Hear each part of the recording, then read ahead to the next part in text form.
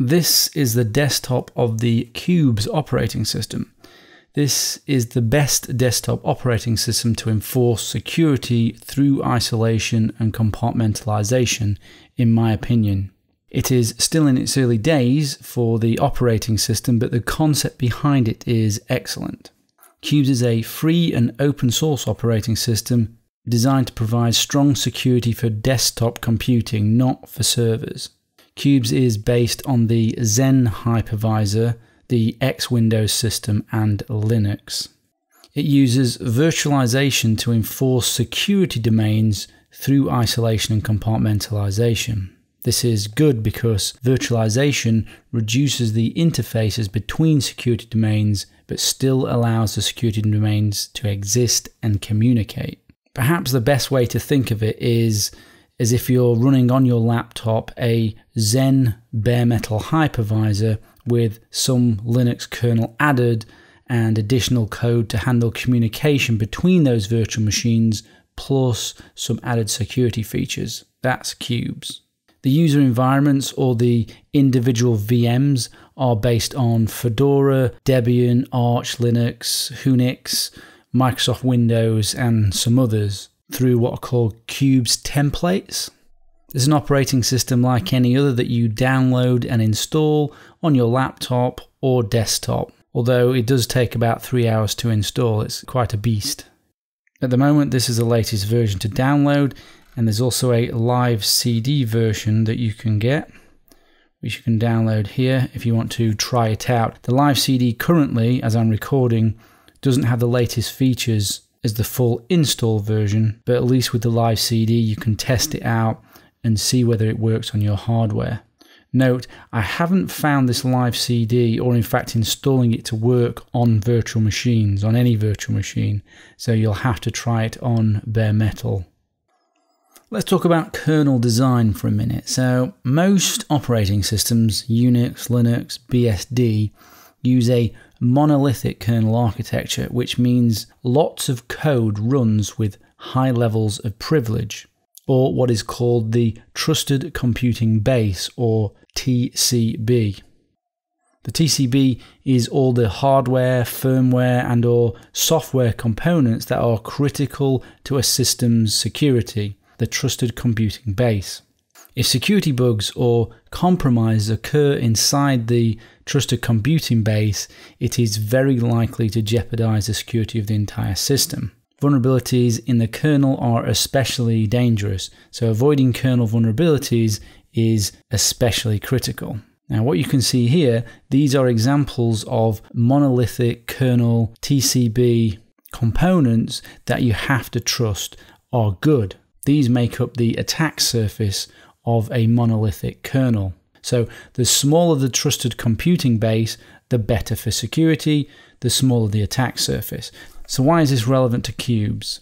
Well, unlike VMware and VirtualBox, which runs directly on a host operating system like Windows or Debian, Xen, which Qubes is based on, is a Type 1 or bare metal hypervisor. Qubes uses a microkernel as the isolation enforcing code, reducing the attack surface. Less code equals less potential security bugs equals less potential compromises, or at least that's the theory. A good theory though. An attacker must be capable of subverting the Xen hypervisor itself in order to compromise the entire system which is more difficult to do than subvert a host on a Type 2 virtual machine like VMware and VirtualBox. There is no full host OS to compromise with a Type 1 hypervisor like which Qubes uses. This is an advantage for security which Qubes has over VMware and VirtualBox. Let's talk through the system architecture and the various VMs. Qubes enforces security domains through different virtual machines that establish isolation and compartmentalization. Each of these boxes here represent different virtual machines and different security domains. No host operating system is used, as Xen is the bare metal hypervisor. So first, let's look at the Xen hypervisor and administrative domain, or the GUI domain, which is this one here, and this one here. Within the interface. The host domain or DOM0 is the interface or GUI to everything else. It's what you see when you are logged in. DOM0 controls the graphics devices as well as input devices such as keyboards and mouse. DOM0 is what shows what you're seeing now, this desktop. It is used for running the X server, which displays this user desktop, and the Windows Manager, which allows the user to start and stop the applications and manipulate the windows.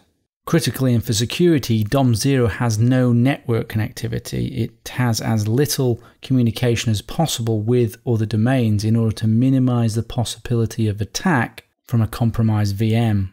As you can see, it uses KDE by default, and even for example, if there was a bug in this KDE, DOM0 isn't reachable for an attacker as there is no network connection to it. You can just view it in effect. Because the DOM0 doesn't have network access, only a few components need to be updated, which the administrator can install at the command line. To view applications running in each VM's domain, Qubes provides the application viewer. This provides a false impression for the user that applications execute natively on the desktop, as you can see here, but they are in fact applications running in separate VMs. Like this window here, you can see the yellow window with a yellow border. This is running in the personal virtual machine. And the green window here is running in the work VM. But because of DOM0's application viewer, you have the false impression that these are just separate windows within an operating system, but in fact, they're entire separate operating systems as part of a virtual machine that are isolated from each other by Xen and Qubes. There is a network virtual machine or NetVM, which you can see here, also represented in this diagram here, NetVM. Networking is performed in a separate VM, which is great as the network layer is a critical component for securing communication. This VM protects you against exploits against things like your Wi Fi or Ethernet driver, protocol stacks, or maybe your DHCP client. And you could also use this to isolate your VPN and make it available for other virtual machines. So, what I mean by that is the network VM enforces a VPN and your other VMs are tunneled through that. This prevents leakage. Remember the nightstand from the NSA ANT catalog? If, as advertised, if we imagine this has some Wi Fi driver or protocol stack type exploit that it's able to perform, if you're using a normal operating system like Windows, Debian, OS X, Linux, it's game over if they have that type of exploit. With Qubes, because the network is isolated in a VM, only the network VM would be compromised by an exploit like that. The attacker would have to escalate his attack to get to the other domains or other VMs. So it's a great idea to have your network as a separate virtual machine as well. In fact, it'd be great for all operating systems. This does require that your hardware has IOMMU, also known as Intel VTD. There is a firewall VM which enforces firewall rules between the network VM and other domains. So you can configure the protocols, the sources, the destination, etc. for the communication between the domains. There are disposable VMs. So the disposable VM, like the name suggests, will dispose of the VM once it has been used. It is typically used for a single application like a viewer, an editor, or browser. You can open a suspicious attachment with complete safety or browse the web without storing any local history and preventing tracking. It's a nice feature, I like it. You simply just right click on a file and select Open as Disposable VM but it's more to mitigate a threat like malware and stop tracking than to protect against local forensic examination like you get with the Tails Amnesiac operating system. You can use an optional USB VM. This will protect the operating system from things like bad USB being plugged into the laptop or device. The USB VM sandboxes all the USB drivers and stack, protecting you from bad USBs. Data can then be carefully exported from selected devices to other app VMs. Application virtual machines or app VMs. App VMs are the virtual machines used for hosting applications like your web browser, email client, PDF viewer, etc. Each app VM is based on an operating system template, the default being Fedora, the minimal template. Others include, as you can see here, Debian, Arch Linux, Ubuntu, Whonix, that's the two gateway and workstation VM. Also, you have Windows here, so you can run Office apps, Word, Excel, or you know the things you can run in Windows. To enforce these security domains, applications are placed in separate application virtual machines, app VMs. Here you can see examples of security domains banking, personal, untrusted, work, etc. Because of this, what you see here, this application viewer, there is an illusion that they are running on the same machine, but they are in reality separate virtual machines. You could be running a untrusted browser on hackme.com and a browser for banking at the same time. Any exploit from the untrusted browser wouldn't affect your banking VM at all. And each security domain is labeled by a color. And you can see here each window is marked by the color of the domain it belongs to. So here is the yellow, which is personal, which you can see there. There is the green, which is work.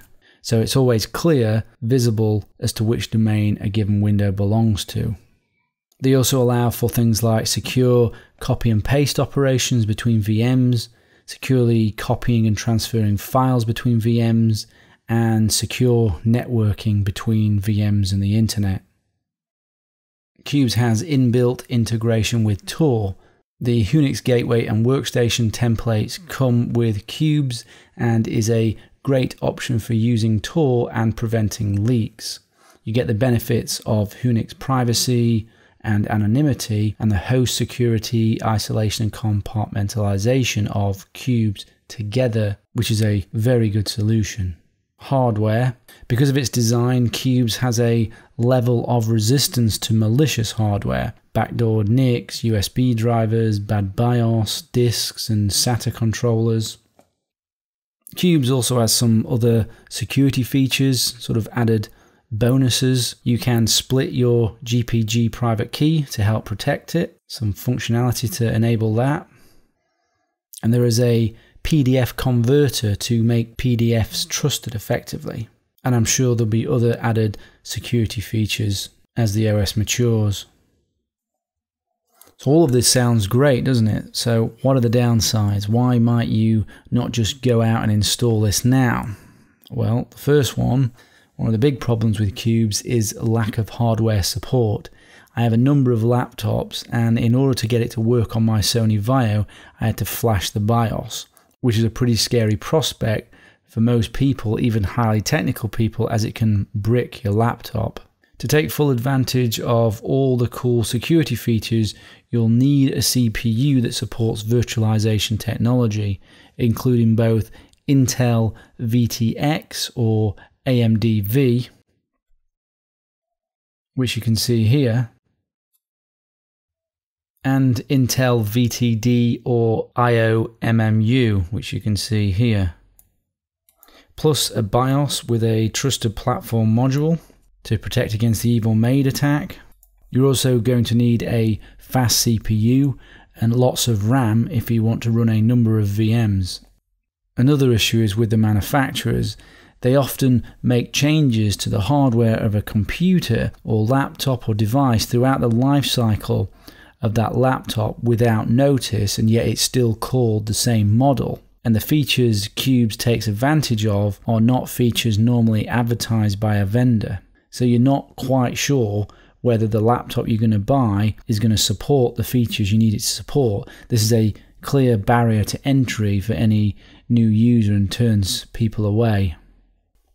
I recommend the live USB to test Qubes to see if it will work on your hardware.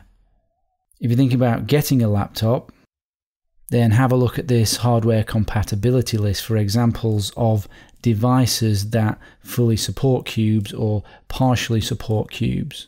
The list is growing and is actually much easier to understand now that they've cleaned up the list because it used to be a bit of a mess. But it's actually pretty good now and you can see quite clearly what works and what doesn't work. And there's also added commentary on what they needed to do perhaps to make it work. Um, but notice this is community supplied, so you know it might not be 100% accurate.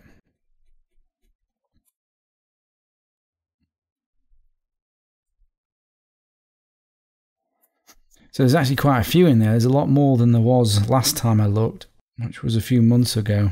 And actually, that's the model that I have with Qubes running on it. And uh, yeah, actually, as it says here, you had to flash the BIOS. Yeah, so I had to flash the BIOS on mine to get it working. But as you can see, there's quite a few that actually do do work. And some of the ones on here are not that expensive. Um, you can get sort of an older laptop around $150, $200, something like that. There's also a Google group for Qubes. That's useful um, for help on what hardware might work and getting your hardware to work. And I think I mentioned it before, it doesn't work in a virtual machine, or at least I've not been able to get it to work in a virtual machine. So you will need to install it on bare metal or try the live USB, live CD option. There is one current Qube certified laptop, which is the Librem 13, which you can see here, which you can get Qubes pre-installed onto. This was a crowd-funded, privacy-focused hardware. I remember seeing it. This is where it was crowd-funded here. And you can go and buy them from here, but they're not that cheap. As you can see here, 1,499. But obviously that is because the laptop is niche built to be privacy focused and sourced to be privacy focused. Check that out if that interests you. But from the hardware compatibility list, you'll find laptops that are much cheaper if you really want to try and get Qubes working. Another issue to consider performance and compatibility could be a problem with Qubes, especially if you're only going to have one device.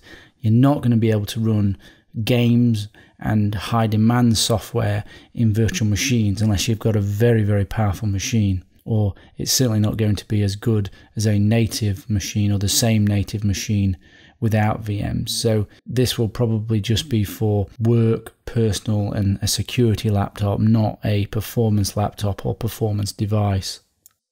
So, what are my general conclusions? Well, this is an operating system still in the early days, but with the right hardware offers some unrivaled security features for anyone technical enough to take advantage of them. It is not designed like Tails to prevent local forensic examination, it is for those most concerned about vulnerability exploitation. Although it does have disposable VMs, these are more to remove a threat than to mitigate local forensic examination.